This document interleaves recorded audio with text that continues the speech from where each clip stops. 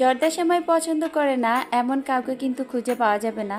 আর সেই সময়টা যদি আমরা পারফেক্টলি তৈরি করে একটু ভিন্নভাবে সাজিয়ে খেতে পারি, তাহলে কিন্তু মন্দ হয় না। আসসালামু আলাইকুম, সবাই কেমন আছেন? আশা করি যে যেখানে আছেন আর যেখান থেকেই আমার ভিডিওটি দেখছেন, আল্লাহর রহমতে সবাই অনেক ভালো আছেন। আমিও আলহামদুলিল্লাহ ভালো আছি।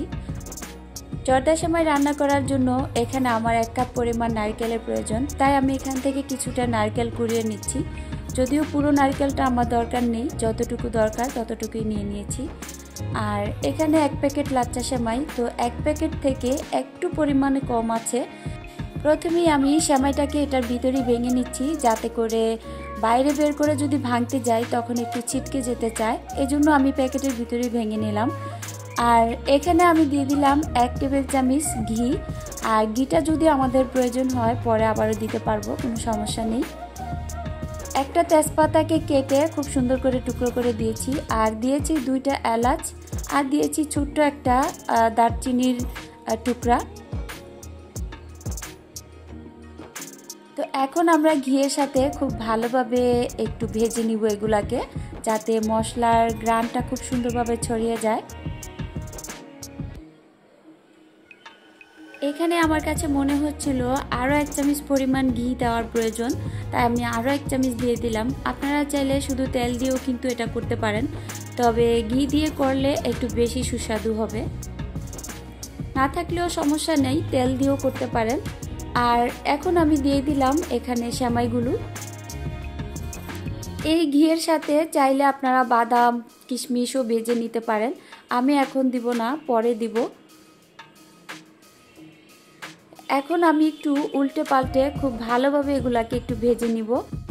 ভাজতে ভাজতে এখানে খুব সুন্দর একটা কালার চলে আসবে আর তখন এমনিতেই বুঝতে পারবেন যে আমাদের সময়টা ভাজা হয়ে গিয়েছে।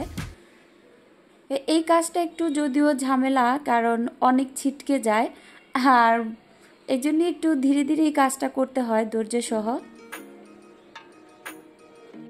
এখন আপনারা খেয়াল করলে বুঝতে পারবেন যে আমাদের সময়টা খুব সুন্দর একটা কালার চলে এসেছে। আরও কিছুক্ষণ বেজে নিব, আর এখন আমি দিয়ে দিব বাদাম কিশমিশ। এখানে আমি নিয়েছি কাঠবাদাম, কাজু বাদাম, সাথে কিশমিশ, এই কয়টা উপকরণই দিব।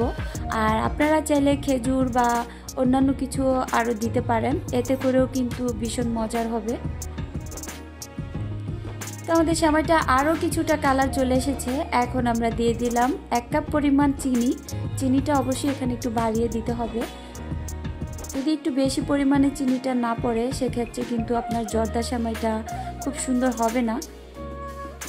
আমরা যেহেতু এখানে একটা সেমাই নিয়েছি, আমার এখানে একটা সেমাইয়ের একটু কম আছে, তো সেজন্য এখানে আমার এক কাপ পরিমাণ চিনি যথেষ্ট।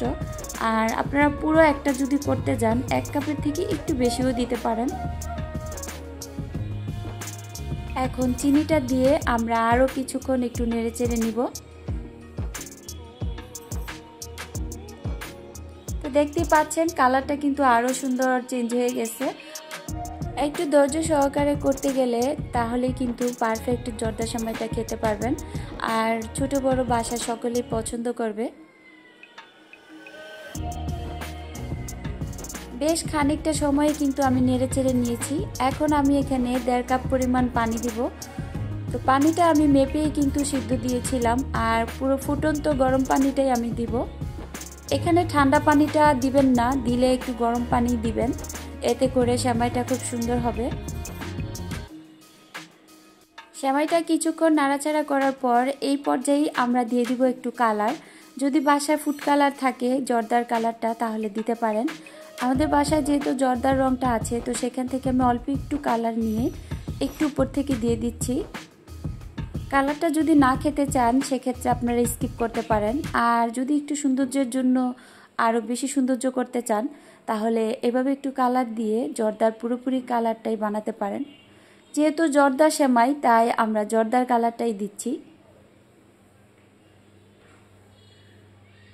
খুব ভালোভাবে একটু নেড়ে চেড়ে নিব যাতে কালারটা কোথাও কম বেশি না হয়। রান্না করতে করতে আমার বন্ধুদের ছোট্ট একটা রিকোয়েস্ট আপনারা যারাই আছেন, যদি আমার ভিডিওটি কোনো অংশে একটু ভালো লেগেই যায়, তাহলে অবশ্যই একটি লাইক দিয়ে দিবেন, কারণ আপনারা একটি লাইক আমার জন্য অনেক মূল্যবান। আর এই কাজটা অবশ্যই আপনাদের ভালো লাগার ভালোবাসা থেকেই করবেন। সেই সাথে বন্টির ভিডিওটিতে যারা আজকে নতুন এসেছেন আমাদের চ্যানেলে, তাদের কাছে রিকোয়েস্ট থাকবে যদি কোনো অংশে একটু ভালো লেগেই যায়, তাহলে চ্যানেলটিকে সাবস্ক্রাইব করে পাশেই থেকে যান। এখানে নাড়তে নাড়তে আমাদের শ্যামাটা কিন্তু প্রায় সুখী এসেছে। আরও কিছুক্ষণ নাড়তে থাকব। জর্দা শ্যামাই মানেই বেশি শুকনাও থাকবে না, আবার একদম ভিজাও থাকবে না। এমন একটা শ্যামাই থাকবে যেটা ঝরঝরা আর খেতেও ভীষণ মজার। তো ঠিক সেইভাবেই করার চেষ্টা করছি।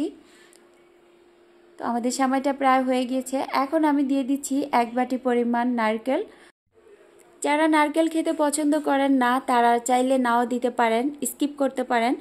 আর যারা খেতে পছন্দ করেন, তারা চাইলে কম বেশি বাড়িও দিতে পারেন।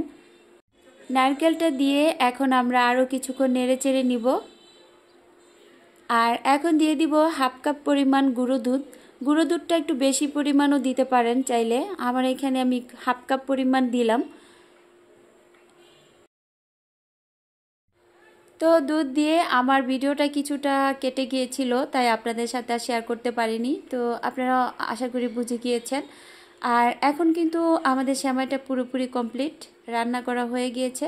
এখন আমরা একটা বাটিতে বেড়ে নিব। দেখতেই পাচ্ছেন কতটা ঝরঝরা হয়েছে শ্যামাইটা আর খেতেও মাসাল্লাহ খুবই মজার ছিল। তো রিজওয়ান যেটা করছিল, এই হাতটা দেখতে পাচ্ছেন, এটা হচ্ছে রিজওয়ান। সে সব সময় দেখে আমি খাবারটা কীভাবে সাজাই, তো সেটাই করতেছিল। আর এই তেজপাতাটা একদম কিনারে ছিল, সে আমার এখানে দিয়ে দিয়েছে। আর এখন এখান থেকে আমি ভিডিও করছি আর সে নিয়ে নিয়ে খাচ্ছে। আমার পাশেই কিন্তু বসা। তো সেটা নিয়ে আমি ভিডিও করার সময় খুবই হাসছিলাম। আর ভাবিজানকে বললাম যে ওকে নেওয়ার দরকার নাই, দেখি ও কী করে।